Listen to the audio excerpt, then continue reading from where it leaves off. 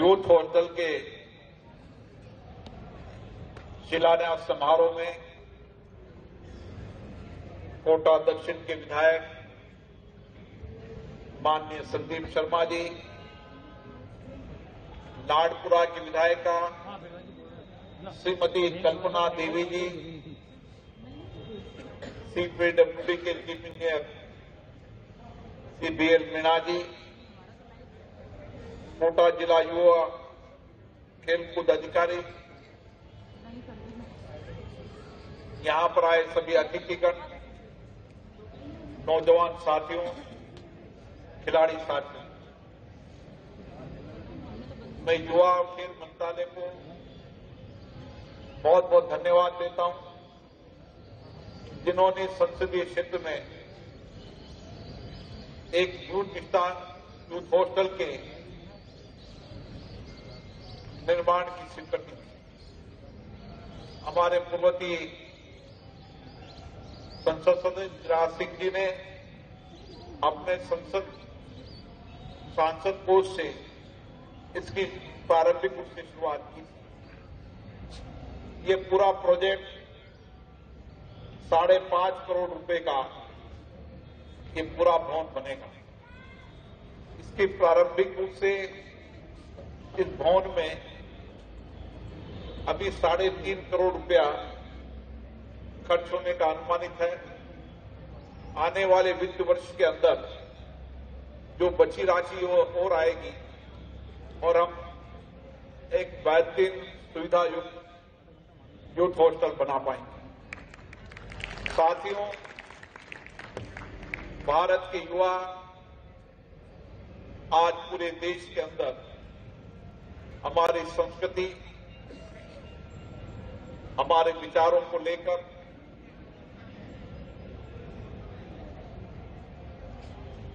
एक अग्रदूत के रूप में पूरे विश्व के अंदर आगे बढ़ रहे हैं। भारत के युवा, ओलंपिक हो, तेरा ओलंपिक हो, उसमें उन खिलाड़ियों ने कई पदक जीतकर भारत का गौरव सम्मान बढ़ाया है। भारत के नौजवानों ने इस देश का सम्मान बढ़ाया, गौरव बढ़ाया है। इससे हमारी ज़िम्मेदारी हो जाती है कि हम देश के नौजवानों को भारतीय संस्कृति, उनके विचार, उनके अनुभव, विविध विविधताएँ देखने का, भ्रमण करने का मौका देश के नौजवानों को मिले। और इसीलिए संपूर्ण देश के अंदर पिचासी से ज़्यादा ये युवा छात्रावास बनाए गए हैं। इनके पीछे का मकसद ये है कि भारत के नौजवानों को भारत की विविधता दिखाने हमारा देश विविधतापूर्ण वाला देश जहाँ अलग अलग जाति अलग अलग भाषा अलग अलग संस्कृति अलग अलग वेशभूषा हमारी पुरातत्व संपत्ति हो चाहे आधुनिक विकास हो दोनों का मिश्रण भारत में नज़र आता है। तो भारत में जहाँ हमारी पुरातत्व संस्कृति हमें गौरवान्वित करती है वहीं भारत का नया विकास हमें नई दिशा देने का काम करता है। भारत की प्राचीनतम गौरवशाली इतिहास हो परंपराएँ हो हमेशा में नई प्रेरणा देने का काम करती है। और इसलिए आज़ादी के बाद हमारे देश के नौजवानों ने अपनी बौद्धिक अद्भुत क्षमता के कारण, अपनी तकनीकी अद्भुत क्षमता के कारण खेल प्रतिभाओं के कारण और अन्य सर्वांगीण रूप से भारत का यश और गौरव पूरे विश्व में बढ़ाया है। आज दुनिया के अंदर भारत एक ऐसा देश है जिसका नौजवान देश के अन्य अन्य देशों के अंदर भी अपना नेतृत्व करने की अद्भुत क्षमता है। दुनिया के किसी भी देश में चले जाएँ, उस दुनिया के उस देश के अंदर चाहे तकनीकी हो, चाहे सूचना प्रौद्योगिकी हो, चाहे प्रोफेशनल हो, चाहे स्किल के रूप में हो, भारत का नौजवान वहाँ भी नेतृत्व कर रहा है। और यहाँ भी भारत के नौजवान के अद्भुत कौशल के कारण नए नए स्टार्टअप के कारण, भारत के नौजवानों ने दुनिया के विज्ञान और तकनीकी क्षेत्र में एक दिशा देने का काम किया। आज हमें भारत के नौजवानों पर गर्व है कि भारत के नौजवानों ने भारत की शक्ति और सामर्थ्य को बढ़ाया। भारत के नौजवानों ने देश के आर्थिक और सामाजिक परिवर्तन में योगदान दिया है। आज सारी दुनिया नहीं, विशेष रूप से हमारे देश की निगाहें हमारे नौजवान पर टिकी हुई। और इसीलिए हमारा नौजवान आज अद्भुत आत्मविश्वास के साथ नई कौशल क्षमता के साथ नए नए क्षेत्र के अंदर अपनी अद्भुत कौशल को दिखा रहा है। और आज इसीलिए हम ये कह सकते हैं कि आने वाले समय के अंदर जब आज़ादी के सौ साल होंगे शताब्दी वर्ष होगा, दुनिया के अंदर भारत आर्थिक और सामाजिक रूप से देश नहीं, पूरे विश्व में अग्रिम पंक्ति पर होगा। उसका मेन कारण होगा भारत का नौजवान।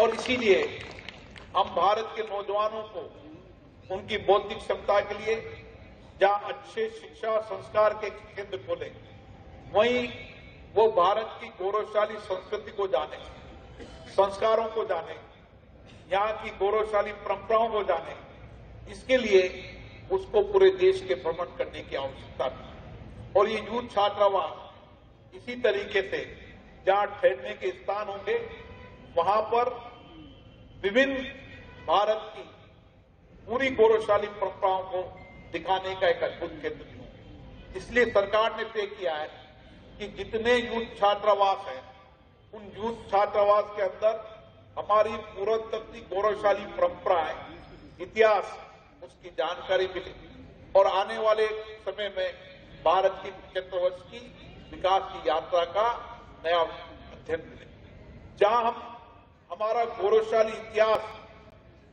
हमारी संस्कृति, हमारे नौजवानों का देश के प्रति त्याग, समर्पण, सेवा को याद कर नौजवानों को नई प्रेरणा देंगे। वहीं आज़ादी के बाद भारत के विकास की यात्रा को दिखाने का भी एक अद्भुत केंद्र, ये युवा छात्रावास होगा। और इसीलिए मैं नौजवानों से यह आग्रह करना चाहता हूँ कि आइए हम सब मिलकर इन युवा छात्रावासों को अपनी संस्कृति का केंद्र बनाएँ। यहाँ पर चर्चा हो, संवाद हो किस तरीके से हम देश के अंदर हमारा योगदान दे सकते हैं? योगदान किस किस तरीके से दे सकते हैं? ऐसे चर्चा समाज के केंद्र को भी इन युवा छात्रावास को बनाने की आवश्यकता है।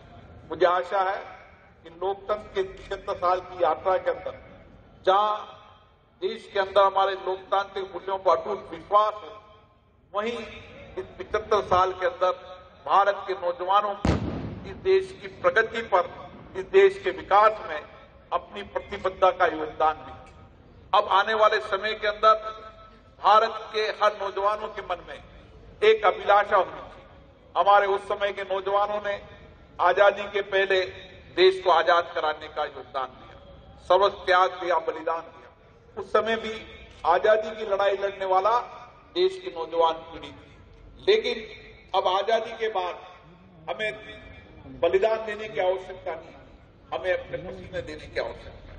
हमारे अद्भुत कौशल के माध्यम से हमारे दायित्वों को निभाते हुए, अगर देश का सारा नौजवान इन मन कम वचन से काम करे कि मेरा भी देश के प्रति कोई न कोई दायित्व है, मेरा कोई न कोई देश के प्रति क्रम है तो शायद भारत के नौजवानों की यह सामूहिक शक्ति दुनिया के अंदर भारत को सबसे अग्रिम पंक्ति पर ले जाने का काम कर सकते और इसीलिए इन्हीं संस्कारों को आगे बढ़ाने की आवश्यकता है।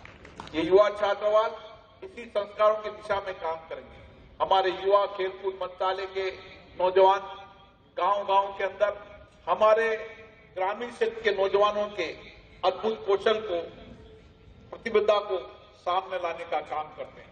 इसलिए युवा छात्रावास के माध्यम से, युवा खेलकूद मंत्रालय के माध्यम से कई गोष्ठियाँ आयोजन होती कई कार्यक्रम आयोजन होते हैं, ताकि दूर दराज के गाँव के अंदर आदिवासी इलाके के नौजवानों को भी हम भारत की मुख्य धारा में लाकर उनकी जो अद्भुत कौशल है, उनकी प्रतिभाओं, उन प्रतिभा कौशल को आगे लाने का काम पिछले दिनों केंद्रीय सभा कक्ष में, पार्लियामेंट के सेंट्रल में जब युवा संसद आयोजन हुई थी, और युवा संसद में जिस तरीके का नौजवान वहाँ युवा संसद में आया था, जिस तरीके का टैलेंट था, अद्भुत वाक कौशल था मुझे लगा कि आने वाले समय के अंदर लोकतंत्र पर विश्वास रखते हुए भारत का नौजवान हर क्षेत्र में, चाहे लोकतंत्र की हमारी यात्रा के अंदर हो, चाहे हमारे विकास के अन्य आयाम हो, तकनीकी हो, इंजीनियरिंग सेक्टर हो, विज्ञान सेक्टर हो,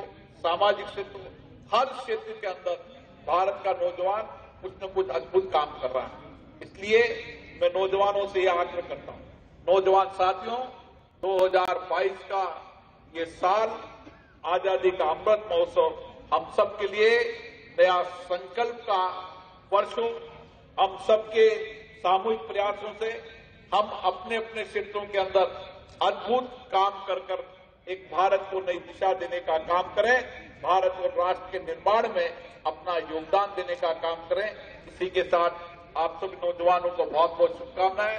मुझे आशा है कि ये जब पूरा छात्रावास बन जाएगा, जब विभिन्न तरह की सांस्कृतिक सांस्कृतिक गतिविधियाँ हम यहाँ पर करेंगे, जो हमारे खिलाड़ी दूर दराज के गाँव से आते हैं, या जब कभी नेशनल या इंटरनेशनल टूर्नामेंट होते हैं, जब विद्यार्थी आते हैं, उनको ठहरने के लिए भी व्यवस्था मिलेगी। एक समय था कि ये जब युवा छात्रावास काम नहीं आ रहा था तो हमारी फुटबॉल एकेडमी यहाँ पर चली। और फुटबॉल एकेडमी के अंदर जिस तरीके के हमारी युवा बच्चों ने अद्भुत फुटबॉल में कौशल किया, आज वो टीम नेशनल लेवल पर चलने की ताकत है। ये गाँव दूर दराज के गाँव से हमारी बेटियाँ आई, उनको यहाँ शिक्षा दी, शिक्षा के साथ खेल और संस्कार देने का काम भी किया। उन्होंने नेशनल लेवल पर फुटबॉल की टीम ने जीतने का काम किया। इसीलिए खेलकूद मंत्रालय और युवा मंत्रालय दोनों का एक अद्भुत मिशन है कि नौजवान जहाँ शिक्षा के अद्भुत कौशल से निकले, वहाँ खेल के अद्भुत कौशल को भी प्राप्त करने का कोशिश करें, ताकि आने वाले समय में जब कभी ओलंपिक हो तो ओलंपिक में सबसे ज़्यादा पदक जीतने वाला भारत का नौजवान हो। इसी के साथ आप सबको बहुत बहुत शुभकामनाएँ बहुत बहुत बधाई। धन्यवाद।